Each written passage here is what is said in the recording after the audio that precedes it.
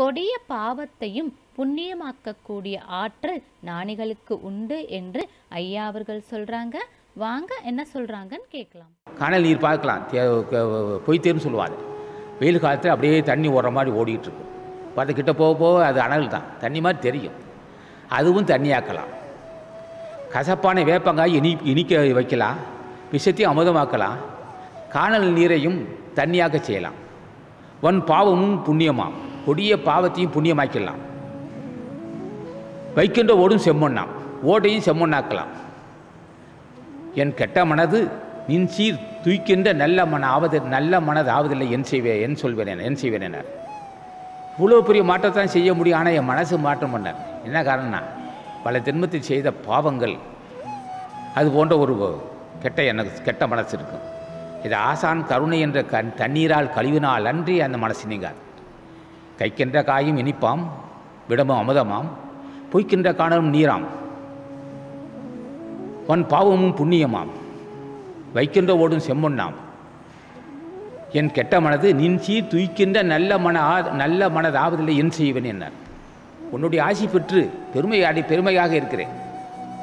உன் ஆசி பெற்று நான் நல்ல மகிழ்ச்சியோடு புகழுக்குரியான இருக்கிறேன். இன்னும் எனக்கு அந்த வன்மானம் தீரவில்லை என்றாமணி சாமி அப்போ எப்படி அமைந்திருக்குது? நாம் எடுத்த ஜென்மங்கள் பல கோடியில் பல லோ பல லட்சம் கோடி ஜென்மம் எடுத்திருக்கிறோம். அதுக்கு உயிர் கொலை செய்திருக்கிறோம் பிற மனசை புண்படுத்தி பேசியிருக்கிறோம் புலால் சாப்பிட்ருக்கோம் பொருள்பற்ற பொருள்பற்று காரணமாகவும் யான் என்ற கிருவத்தின் காரணமாகவும் அடாது செய்த பாவம் இப்போது வன்மனமாக மாறியிருக்கும். அந்த பாவம் பொல்லாத வறுமையாக இருக்கும். அந்த பாவம் நோயாக இருக்கும். அந்த பாவம் முரண்பட்ட மனைவியாக இருக்கும். அந்த பாவம் முரண்பட்ட பிள்ளைகளாக இருக்கும். அந்த பாவம் பல்வேறு வகையில் நம்ம வாட்டி வதைச்சிட்டு இப்படி உள்ள ஒரு கொடிய பாவம் பாவ சுமையே உடம்பாக இருக்கும். இப்படி இருக்கும்போது எப்படியா கருணை வரும்? கருணை வராது.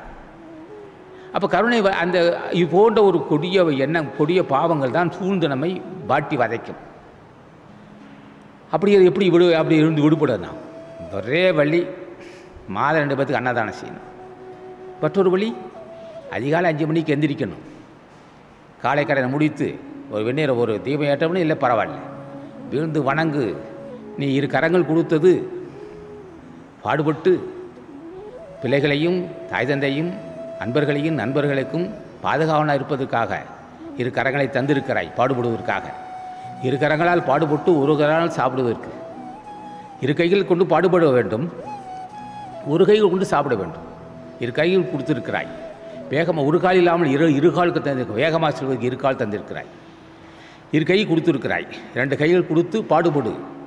என்னை கூப்பி வணங்கு. இரு கை கொடுத்ததே பாடுபடவும் இரு கையை இரு கரங்களால் பாடுபடுதல் உழைத்தல் ஒரு கரங்களால் உழுதல் ஆசானது அருளுரைகளை தொடர்ந்து கேட்க அரங்கர் டிவிக்கு லைக் பண்ணுங்க சப்ஸ்கிரைப் பண்ணுங்க.